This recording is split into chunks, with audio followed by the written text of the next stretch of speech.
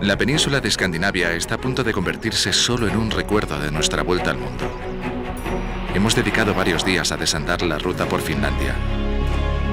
Nos hemos acercado a sus castillos medievales, donde uno puede asomarse a las murallas para contemplar la región de los mil lagos. Después hemos continuado hacia el sur hasta alcanzar Helsinki, una ciudad que ha crecido a orillas del mar Báltico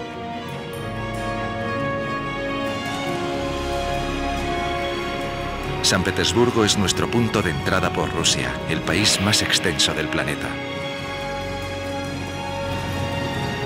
Daniel se subirá al Transiberiano. Y yo acompañaré a José Luis para grabar con mi cámara las carreteras de Siberia. Nos reuniremos más tarde antes de viajar a una isla del mítico lago Baikal, Desde allí comenzaremos una nueva ruta que nos llevará hasta la parte más remota de Mongolia. En total serán 10.000 kilómetros en busca de los últimos nómadas del continente. Atravesar el desierto del Gobi supone todo un desafío. Y en ocasiones, los desafíos tienen un alto precio.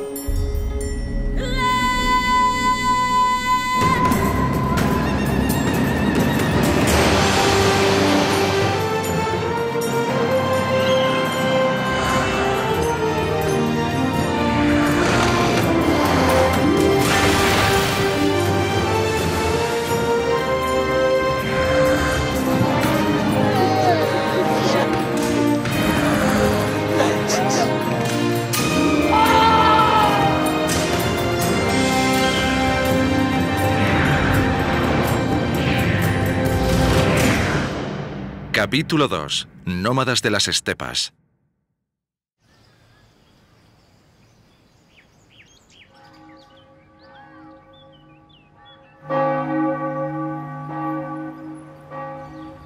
Se denomina síndrome de Stendhal a una dolencia que causa palpitaciones, vértigo y confusión cuando una persona se expone a una sobredosis de belleza artística. Pues bien, cuando nosotros llegamos a San Petersburgo, también sentimos algunos de los síntomas de esta enfermedad.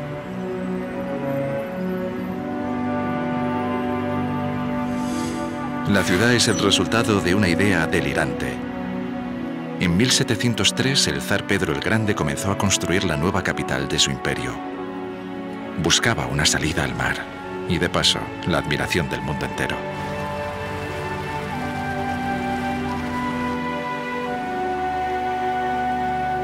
El zar contrató arquitectos de Alemania y Holanda para construir calles y monumentos.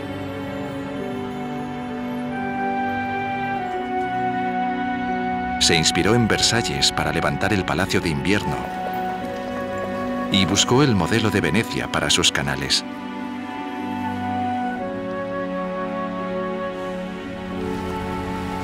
Pero algunas de sus iglesias tienen el sello inconfundible de la ortodoxia rusa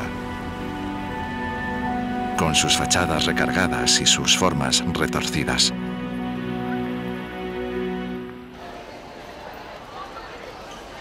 Hoy, el legado de la época de los zares permite a sus habitantes pasear por una de las ciudades más hermosas de Europa. Pero no siempre se trata de un lugar bucólico.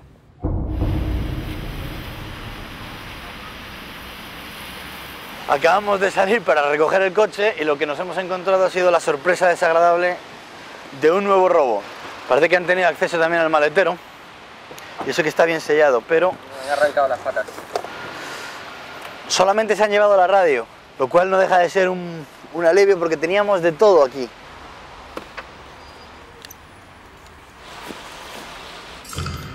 Cuando conseguimos reparar los daños, volvemos a la carretera aunque a partir de ahora viajaremos sin música. Y esta vez nos dirigimos a la mayor ciudad de Europa.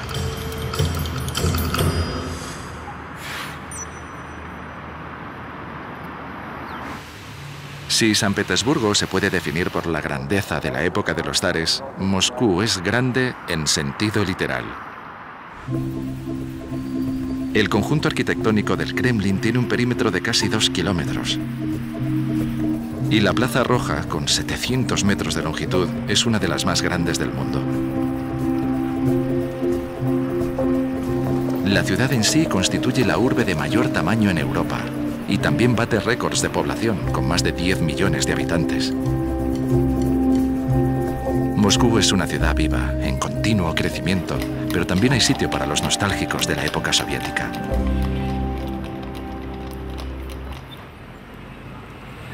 Junto a los muros de la Plaza Roja se suelen levantar puestos donde se venden viejos periódicos de los años 70, emblemas del Che Guevara y otras reliquias que han dejado de pertenecer a la realidad rusa. Los viejos símbolos del comunismo se resisten al paso del tiempo. Pero la población moscovita es sobre todo una población joven. Y ya pocos quieren oír himnos patriotas cuando pueden encender la noche con música disco, por ejemplo.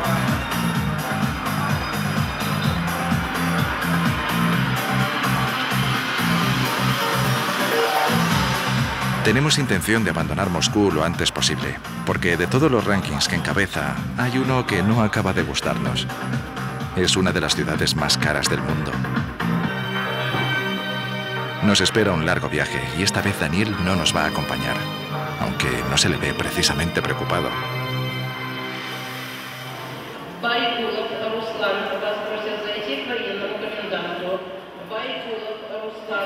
En la estación es fácil ver a los pasajeros empaquetando una nueva vida antes de cambiar de ciudad. Moscú representa el kilómetro cero de la ruta del Transiberiano, que une la capital de Rusia con la ciudad de Vladivostok, a 9.288 kilómetros. Aunque Daniel de momento hará más o menos la mitad.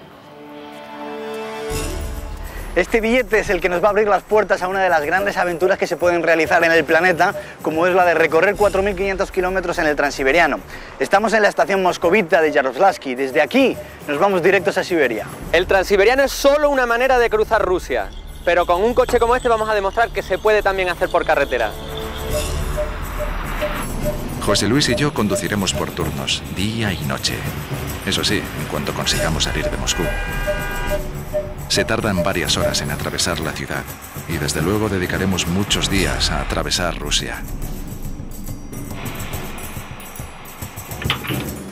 Hacemos del tirón los primeros 800 kilómetros.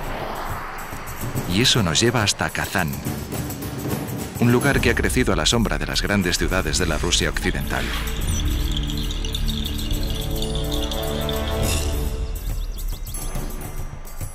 Nos estamos acercando poco a poco a territorio asiático.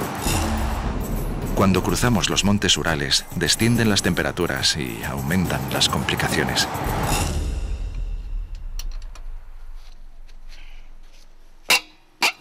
Bueno, pues hemos cambiado la, rueda. Solo falta recoger las herramientas y tirar millas. Pero si uno viaja hacia Siberia con el invierno a la vuelta de la esquina, la situación solo puede empeorar. Mientras tanto, en el tren, Daniel es testigo de una escena que se repetirá en cada estación. Las despedidas de aquellos que se dirigen a la parte más oriental de Rusia, casi al otro lado del mundo.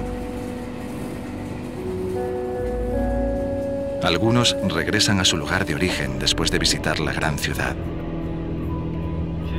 Otros son destinados a Siberia por razones militares y los hay que se toman el trayecto como unas vacaciones. Please. España, Daniel viaja solo, así que tendrá que grabarse a sí mismo. Es decir, para el resto de viajeros es como si hablase solo.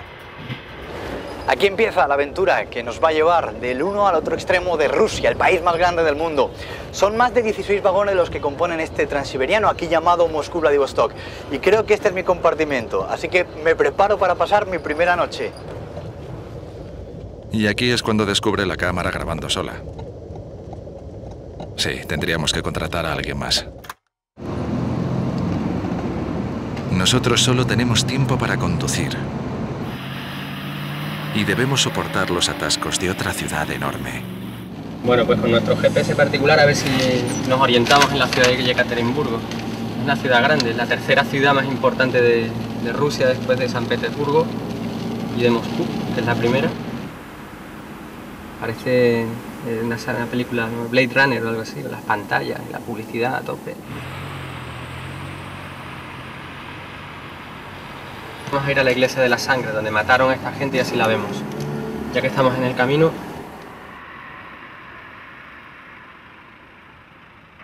Esta iglesia se levantó para conmemorar un magnicidio.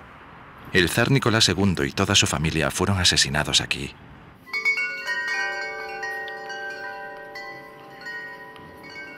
Hoy los rusos acuden a este templo y encienden velas para honrar la memoria de los zares. O para rezar por un invierno más templado, no estoy seguro.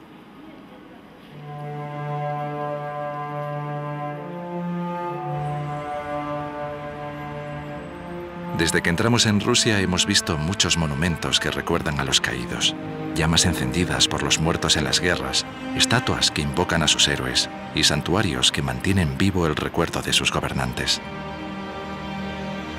La historia de este país, de un rincón a otro del territorio, parece resistirse al olvido.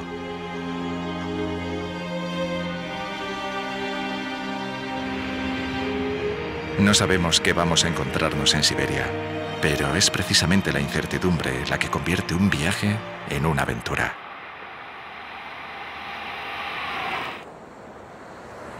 A partir de ahora hay que improvisar.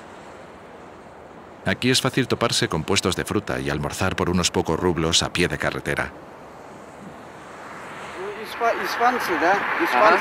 España. España, Finlandia, Finland, Rusia, Mongolia. Poco a poco nos adentramos en la Rusia profunda. Queremos avanzar antes de que nos pille la nieve y el hielo en la carretera. Daniel lo tiene mucho más fácil. El único problema aquí es el idioma. Eso provoca un montón de conversaciones incomprensibles. Ah, muéveme, no importa, dale, dale, que ya pago.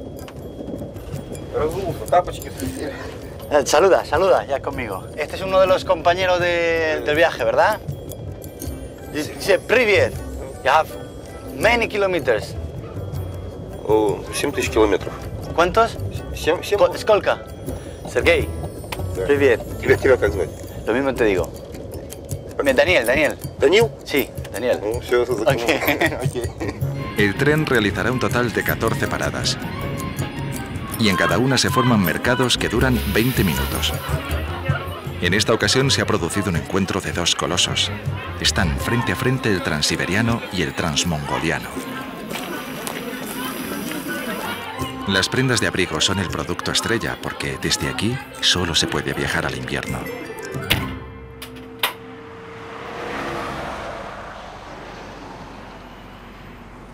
Nosotros viajamos sin radio ni más alojamiento que este coche hotel que nos lleva por Rusia.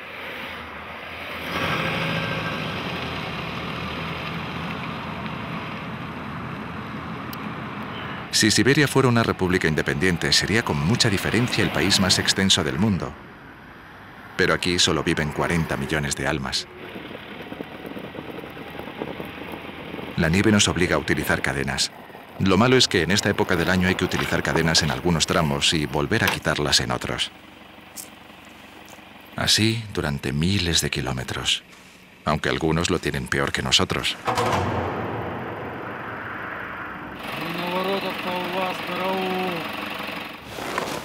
El hielo lo hace todo más difícil.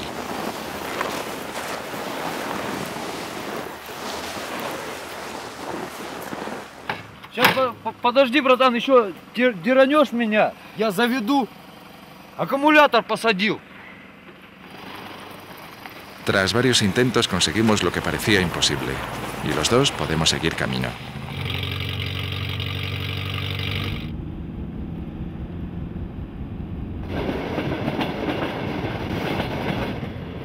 Bordo del tren todo resulta más cómodo. Los empleados de la cocina saben que deben preparar comida para unos 450 pasajeros durante una semana. Enfilamos la recta final de nuestro camino hacia Siberia y lo hacemos desde la cafetería restaurante del Transiberiano. Strasiva, Alicia. Alicia me trae el borscht, que es la comida típica, una sopa caliente que reconforta cuando uno tiene que mirar por la ventanilla del tren y ve solamente la taiga y la nieve en el camino. No te rías, Tania, que, se te oye. El amanecer nos ha sorprendido entre los bosques boreales. Al grabar estas imágenes me pregunto qué pasaría si sufriéramos una avería grave en este momento. Nos consolamos pensando que antes o después siempre aparece alguna población en el camino.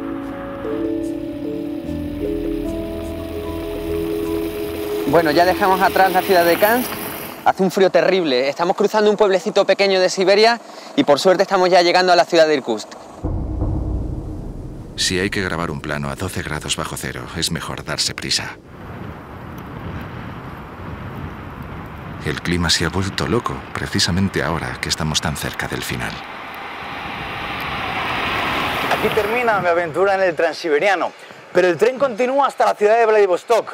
Nosotros nos hemos detenido en la que llaman la perla de Rusia, que es el lago Baikal, y a sus orillas vamos a conocer la ciudad de Irkutsk.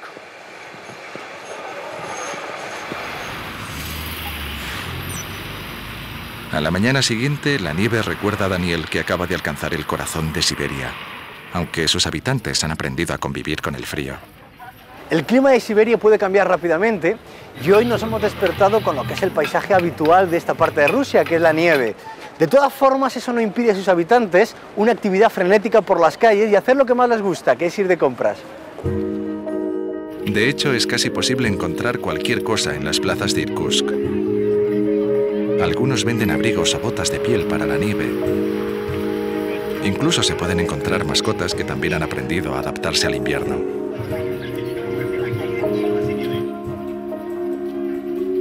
En los mercados callejeros hay que admitir que los productos son, sobre todo, productos frescos.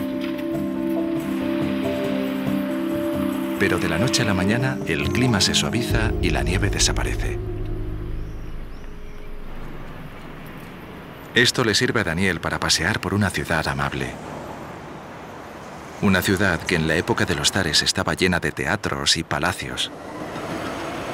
Incluso los barrios humildes siguen conservando la gracia de sus casas de madera talladas. Como si Irkutsk estuviera llena de carpinteros con vocación artística. Esta es una región del mundo donde pueden verse iglesias ortodoxas, aunque muy cerca habitan los camellos de las estepas.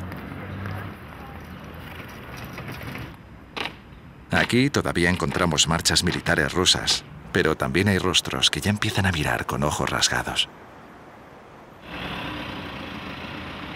Y nosotros hemos hecho 5.400 kilómetros para llegar hasta aquí. Nos hemos vuelto a reunir y desde Irkutsk comenzamos un nuevo camino. Hagamos un breve repaso a la ruta. Salimos de San Petersburgo hace tres semanas. Y después de alcanzar Moscú, el viaje avanzó en paralelo. Daniel lo hizo a bordo del Transiberiano, mientras José Luis y yo hemos cruzado las carreteras de Rusia hasta llegar a Irkutsk. Y ahora vamos a acercarnos a la mayor reserva de agua dulce del planeta, el lago Baikal. Acabamos de desembarcar en la isla de Oljon, la más importante del lago. Y su principal población es Kusir.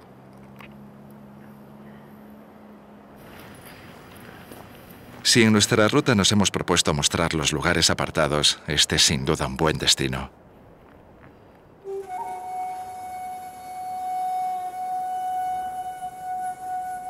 Aunque aquí hay carreteras, es fácil recorrer la isla por sendas y caminos de tierra. El paisaje cambia radicalmente de un lugar a otro. Primero bordeamos los acantilados, subiendo algunos cerros que han perdido la vegetación. Después nos adentramos en los bosques con las únicas coníferas del planeta que pierden las hojas en invierno. Al encuadrar los paisajes del Baikal, tengo la certeza de estar grabando un lugar insólito. Las playas permanecen desiertas, sin nadie que altere la paz de estas costas. Bueno, nosotros sí hemos interferido un poco. Pero diré en nuestra defensa que es imposible no rendirse a la sensación de libertad.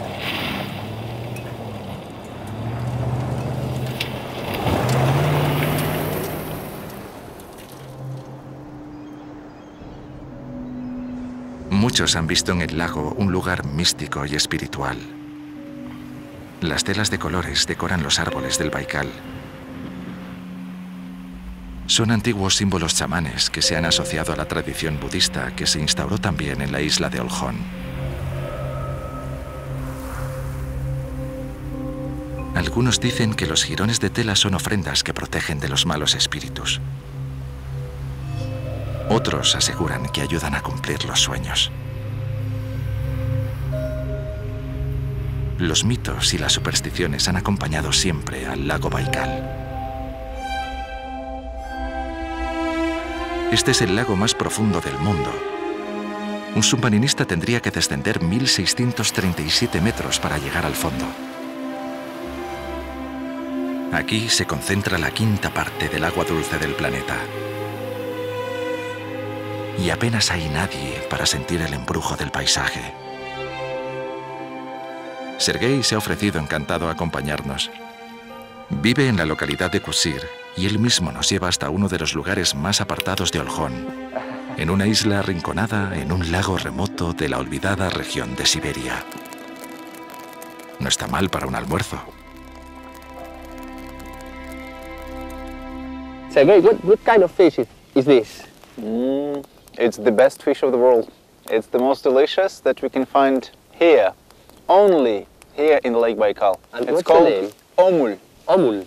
You just put the best part from the back of the fish and taste it. Really delicious, huh? Really delicious. You're privileged people, those who come here, because you can still taste this very rare, endemic it's called, endemical fish. Mhm. It's found really only in the Lake Baikal. Este lugar fue descubierto por los rusos hace solo cuatro siglos y aún no se ha instalado el turismo de forma masiva. Sin embargo, algunos viajeros dejan su huella cuando alcanzan el extremo norte de Oljón.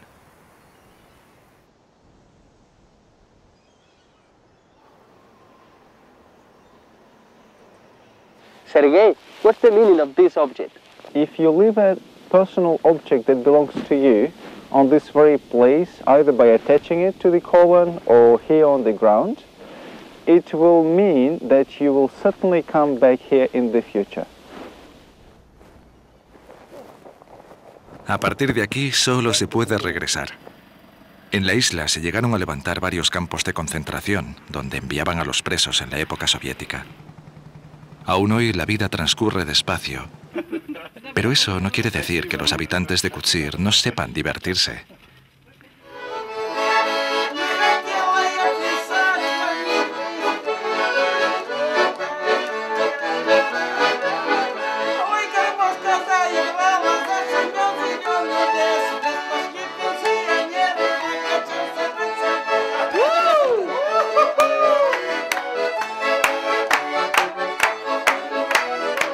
Incluso en los pueblos perdidos de Rusia es fácil sentirse un poco en casa.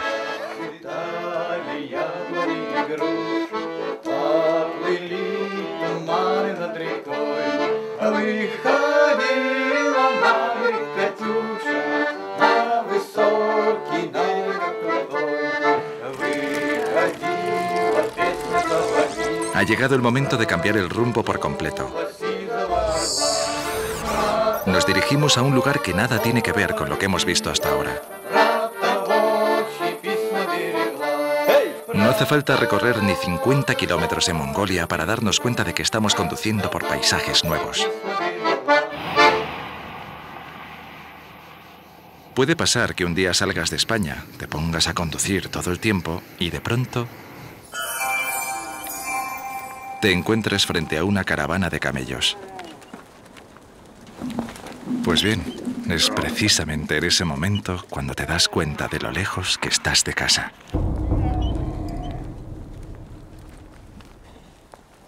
A partir de ahora tenemos que acostumbrarnos al andar sereno de los camellos, a las estepas infinitas y al encuentro esporádico con los seres humanos, porque eso va a definir la ruta por el país más despoblado del mundo. Muchas familias viven de las salinas del norte del país. El trabajo no distingue entre los mayores y los jóvenes, pero en la forma de vestir ya empezamos a notar la diferencia entre las tradiciones y las modas importadas.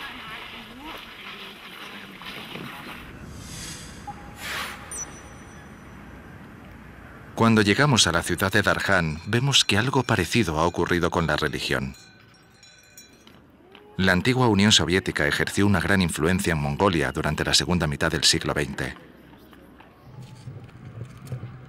Sin embargo, en los lugares santos nos damos cuenta de que el budismo ha sobrevivido a la época comunista. Muchos templos fueron destruidos y las imágenes de Buda censuradas. Pero el país ha visto renacer de nuevo sus símbolos. Cada tarde los habitantes de Darhan suben hasta la cima de esta colina para rezar.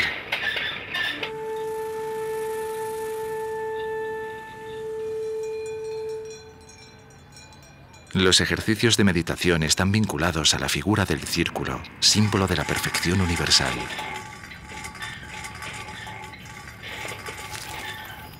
Por eso caminan alrededor de las estupas. Por eso rodean la figura de Buda o hacen girar sus objetos de culto como medio de purificación. Está claro que hemos alcanzado un lugar diferente.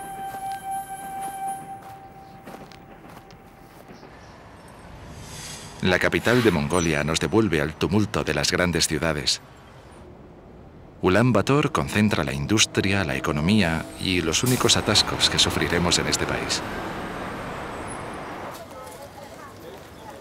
Las estadísticas la sitúan además entre las capitales más contaminadas del mundo. Muchos pastores llegan a la capital para mejorar su calidad de vida y eso provoca un choque cultural inevitable.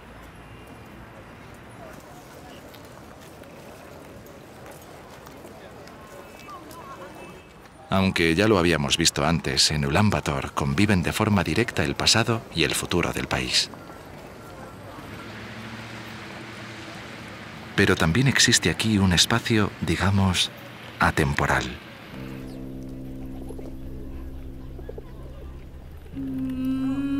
En el recinto de Gandán nos topamos de golpe con la cultura budista que ha sobrevivido en Mongolia. Hoy hay casi mil monjes viviendo en un lugar que fue prácticamente destruido por el gobierno soviético.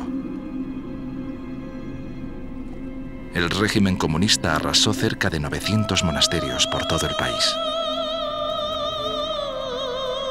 Sin embargo, Gandam es hoy una referencia budista no solo para los mongoles. Muchos de los jóvenes que vemos aquí llegan desde otras partes del continente. Algunos son solo unos niños, pero ya se preparan para convertirse un día en monjes budistas. El templo de Hanra Singh ocupa el lugar central. En su interior descubrimos una de las imágenes más veneradas de Mongolia. La imagen de Buda tiene una altura de 26 metros y está recubierta de oro.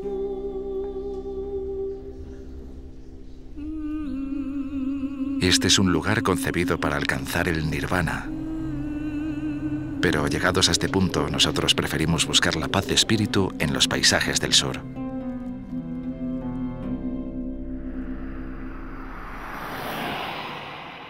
Apenas hay carreteras en un país cuatro veces mayor que Alemania y con menos habitantes que Madrid.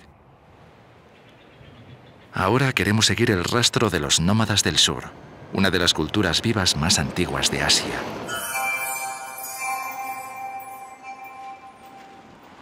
Mientras encontremos pequeñas poblaciones, podremos conseguir algo de comer. Algunos se las ingenian para ver incluso la televisión por satélite. En todo lo demás son bastante austeros.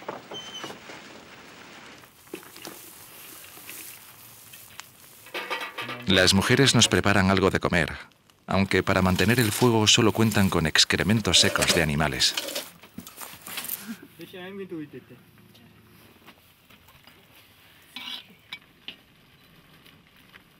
Los nómadas son solidarios con los viajeros y nos ofrecen algo de vodka para celebrar el encuentro. A estas alturas, Mongolia ya nos ha seducido.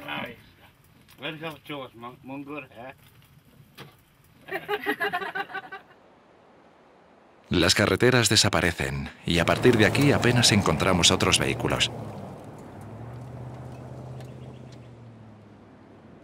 Ya se han acabado los carteles y necesitamos la ayuda de un guía local para orientarnos. Tampoco hay hoteles ni hostales a pie del camino, sencillamente porque ya no hay caminos.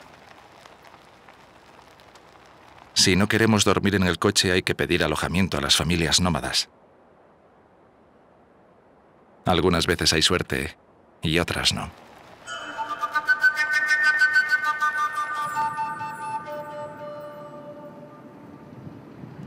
Esta vez nos dirigimos a una zona escarpada.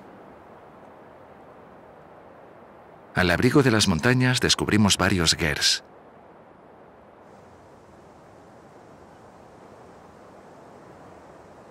Esta familia de nómadas acaba de instalar aquí su campamento de invierno. Llevan su casa a cuestas, este ger, que consiste en una estructura de madera recubierta por una capa aislante de fieltro que les protege de las bajas temperaturas. Esta es una vivienda desmontable. Y en un país casi deshabitado, uno planta su hogar donde le da la gana. Tiene unos 20 metros cuadrados con una chimenea central y el techo está sujeto por más de un centenar de varillas de madera. La capa de piel prensada es indispensable en los campamentos de invierno. Hay que tener en cuenta que las temperaturas en el interior de la vivienda pueden alcanzar los 10 o 12 grados bajo cero una vez que se apaga el fuego de la chimenea.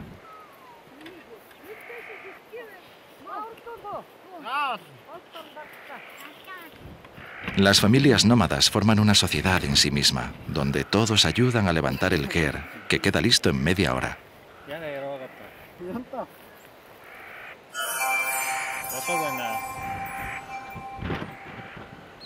Por lo general, los gers están aislados en mitad de la estepa. Pero el interior representa bien el hogar.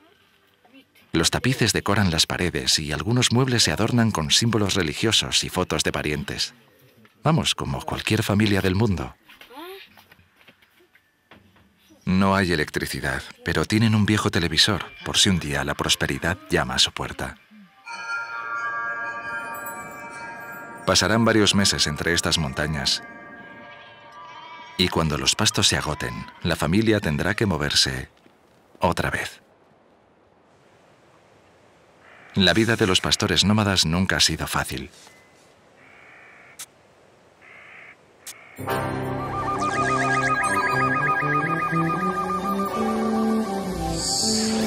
Desde que salimos de Ulan Bator hemos viajado de Ger en Ger. Pero ahora vamos a alcanzar una aldea con algo más de gente. Por fin, un lugar habitado.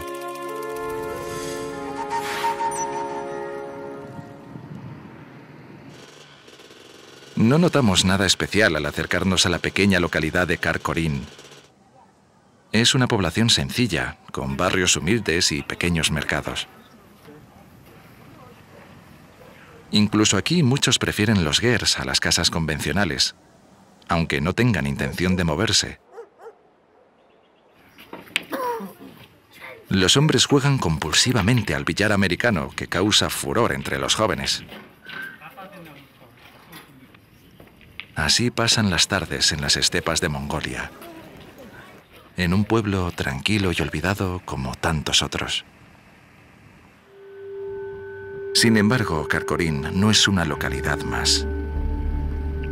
Antes era conocida como Karakorum.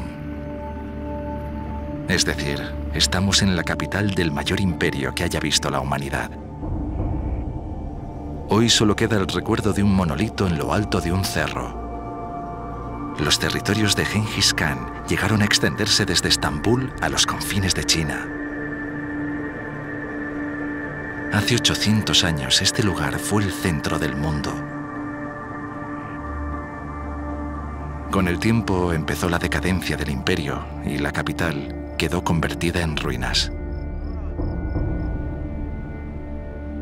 Muchas de las piedras de la antigua ciudad de Karakorum se destinaron a la construcción de Erdenes-Su, el monasterio más importante de Mongolia. El templo ha sido destruido y vuelto a construir varias veces. Quizás este sea también el destino de Mongolia, renacer una y otra vez de sus cenizas. Por otra parte, quien busca el retiro espiritual no encontrará un lugar más apartado que el monasterio budista de Erdenes-Su. Aquí, donde se ha instalado el olvido, junto a los últimos herederos de Genghis Khan.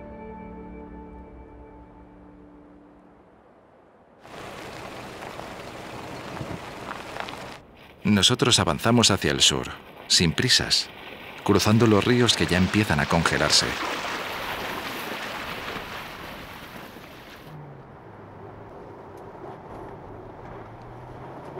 Las manadas de caballos son los únicos compañeros de un viaje que nos conduce a la nada, o dicho de otra forma, al desierto del Gobi.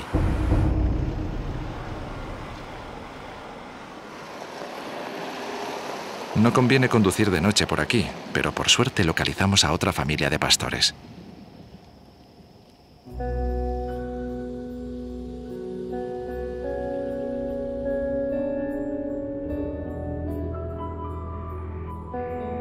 Con el amanecer comienza una nueva jornada junto a los nómadas.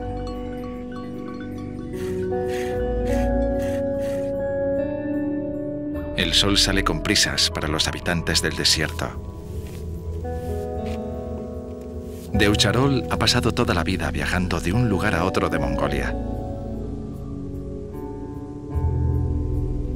Sin embargo, el futuro de la familia reside en los jóvenes. Y aquí los hombres deben aprender rápido. Dicen que los jinetes de Mongolia son los mejores de todo el mundo. De hecho, heredaron la habilidad de los antiguos soldados de Genghis Khan. Y estando en las estepas de este país, creo que es el mejor lugar para poder aprender a montar uno de estos caballos. Lo voy a hacer gracias a un gran profesor, se llama Sumin Ba. Tiene tan solo 16 años, pero desde que tenía tres ya subía a lomos de uno de estos animales, lo cual le convierte en todo un experto.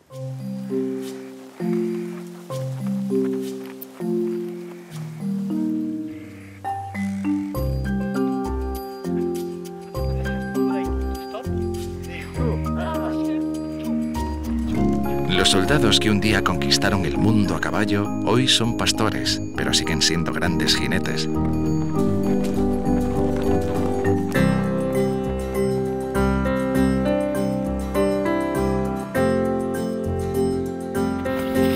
Los mongoles han aprendido a cabalgar sin la silla de montar y como Daniel puede comprobar, no resulta nada cómodo.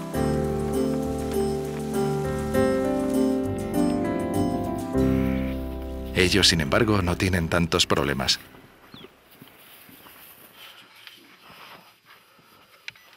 Deucharol nos ha recibido con la misma cordialidad que los otros pastores, sin pensarse dos veces por qué debería compartir su casa con unos extranjeros.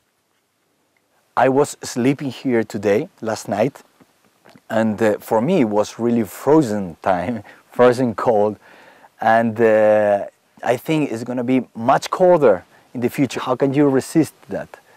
бид нар орчин ийсэн дараагүй шүү дээ. Ингэж яриад ингээд унцыг халуун дулаахан байсан.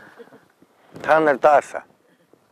Ийм дулааханд яаж явна? Next time I come here in winter, but you please close the window and, and put extra fire in the gear. Okay? Аа яа. What do you think about the, the Gobi? The Gobi is getting bigger and maybe uh, Mongolia is getting a big desert. Are you worried about it? ховор орж байна. Ус шанд их ширгэж байна. Газар их хатаж байна. Ган их болж байна. Мал аж ахуйд их хорлолтой цаг ирэх нь. Монгол орны мал аж ахуй тариаланд. It's bad time for animals. Maybe it's bad time for nomads too. Well, tell me about the future of the nomads, please. Малчид одоо энэ хил эвгүй нөлөөлөх гэж байгаа юм даа чи ерөөсөө. Нар их гарч байгаа. Ган их болж байгаа бороо ховор ордог. Энэ дэлхийн озоны цорхо томснаас болж ийм болж байна гэж үзээд байгаа шүү дээ ерөөсөө. A pesar de la tiranía del clima, los nómadas no tienen fronteras y sus tierras son aquellas que pueden alcanzar con la mirada.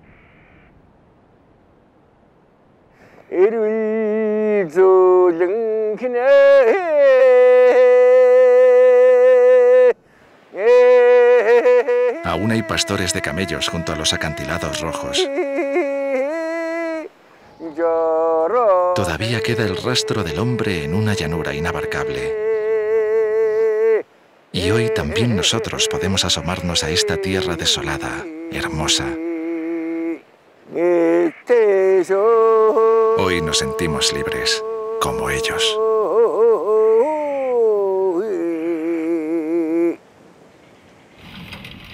Aunque esa libertad termina en las estaciones de servicio. No hay muchas por aquí y la verdad no me gustaría quedarme sin combustible en mitad del desierto. En una pequeña localidad del sur, José Luis organiza todo lo necesario para continuar camino. Después de tres meses de viaje, el ritual de carga y descarga del material se ha convertido ya en una rutina necesaria. Han congelado las botellas de agua. Algunas se han reventado, han mojado todas las cajas de los filtros. Un disco de embrague ahí pegado y... Debemos recolocar el equipaje y hacer una puesta a punto del vehículo. Pero lo que José Luis no sabe es que esta vez no va a servir de nada. El desierto del Gobi puede llegar a ser un lugar traicionero. Para muchos este es el final del camino. Y puede que para nosotros también.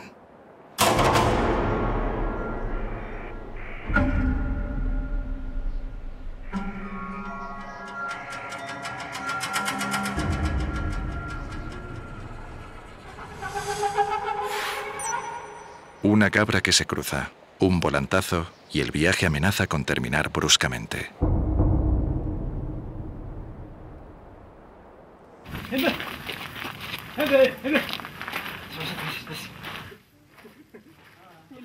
José Luis se ha partido la clavícula. Gracias a algunos nómadas hemos podido alcanzar una aldea a 130 kilómetros de allí. Pero de momento nuestro fotógrafo no podrá acompañarnos.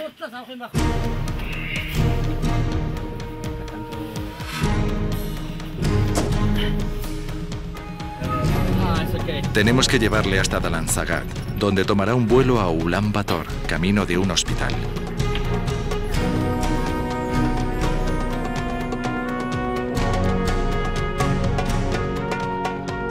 Ahora nos damos cuenta de la suerte que hemos tenido. La lesión de José Luis podría haber sido mucho más grave y los nómadas que lo rescataron podrían no haber estado allí y entonces mejor no pensar en ello.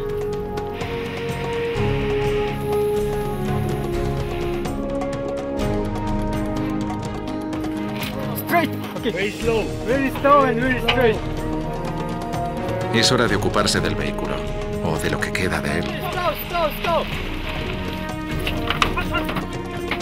El primer paso supone trasladarlo hasta la capital del país. El único camión disponible es más pequeño que el propio coche, pero es lo que hay.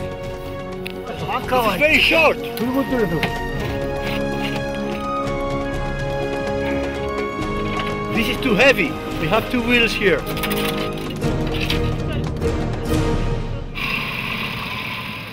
Hemos pagado al conductor para que lleve el vehículo a Ulan Bator. Lo que ocurra después no lo sabemos.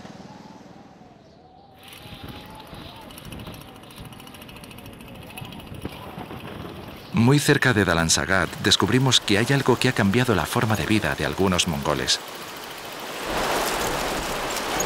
Bajo la arena, estos hombres buscan oro. Se trata de una actividad clandestina, pero ya hay pastores que ven una alternativa a sus rebaños.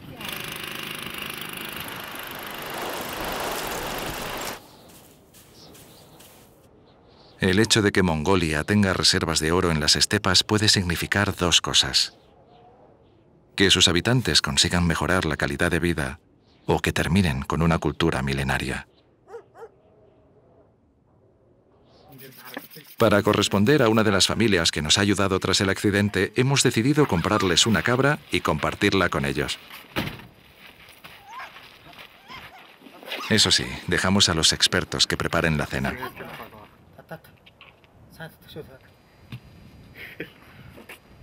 Esta es una ocasión especial que les permitirá comer carne fresca.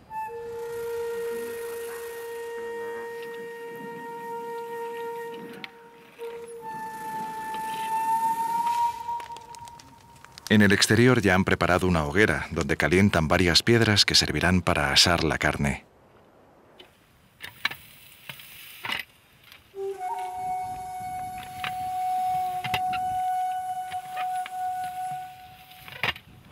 A partir de ahí solo hay que esperar a que el fuego haga su efecto.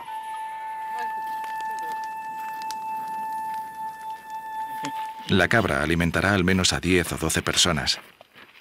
Y además, las piedras nos calientan las manos. Es bueno para la salud. Eso es healthy. A estas alturas, José Luis ya habrá llegado a Ulan Bator y nos consuela saber que estará en buenas manos. Se nos han acumulado los problemas y no sabemos si las averías del coche son, por decirlo así, terminales.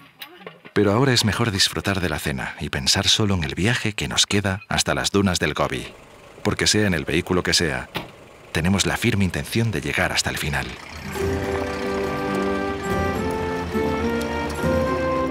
Atravesar Mongolia implica madrugar todas las mañanas. Llevamos días entre rebaños de cabras, despertándonos al amanecer. Y la verdad no siempre resulta tan fácil. Pero siempre merece la pena.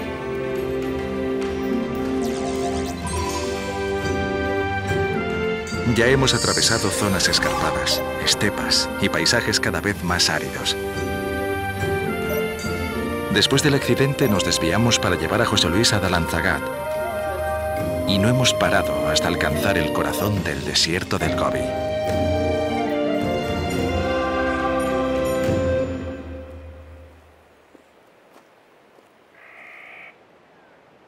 Es curioso, incluso aquí nos sentimos bienvenidos. En este lugar viven los últimos pastores del país, los nómadas más osados de Mongolia, porque más allá no hay lugar ni para los rebaños ni para el hombre.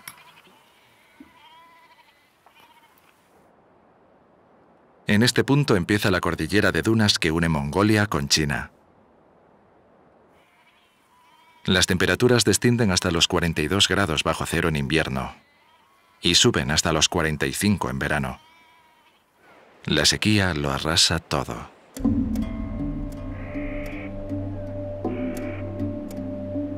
Solo algunas especies de pájaros cruzan este terreno en busca de agua.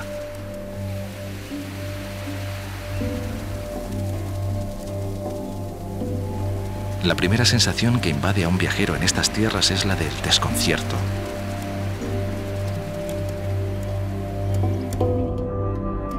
Las dunas con sus sombras parecen un gigantesco reloj de arena.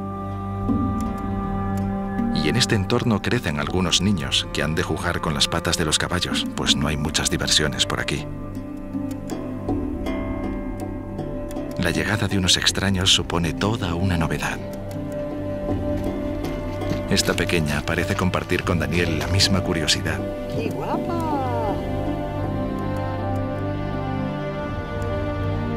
Aquí ya no hay prisas. Es como si hubiéramos parado el tiempo, contagiados por la tranquilidad de esta gente. El hombre es capaz de acostumbrarse a todo.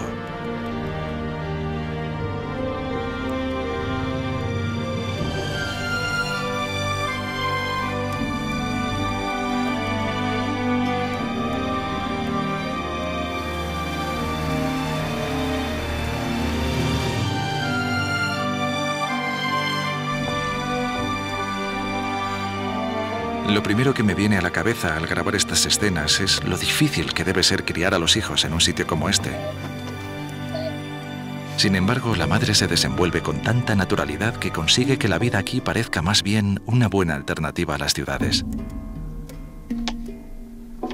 Hoy el menú es algo especial. Pasta con carne de camello.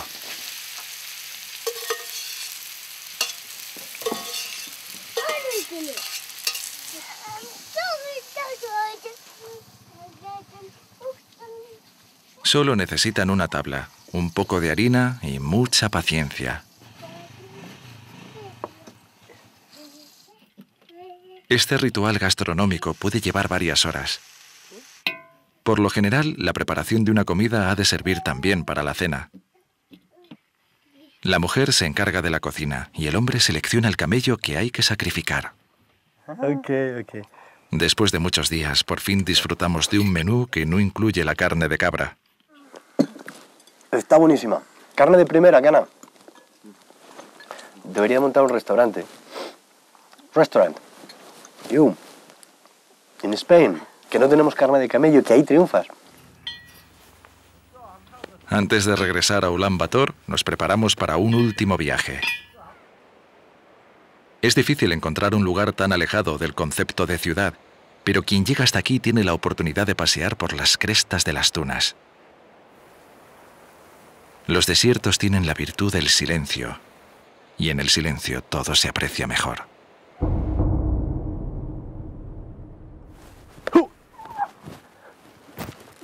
Además, uno puede sentirse un poco Lorenz de Arabia y avanzar con una perspectiva muy particular.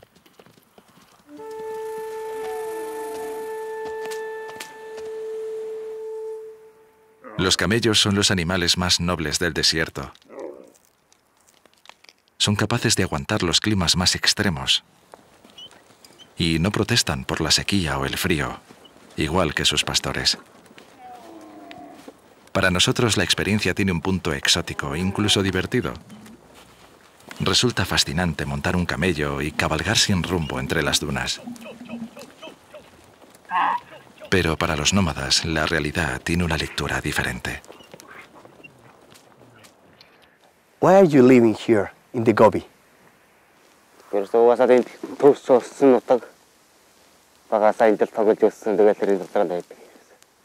Would you like to change? Because this is a very hard place to live sometimes. Why is this place so special for you?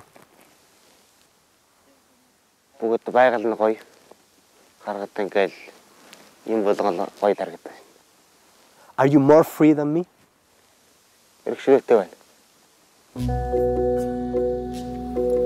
En Mongolia queda menos de un millón de pastores nómadas. Han resistido a los cambios políticos, a las guerras, a las conquistas y al turismo.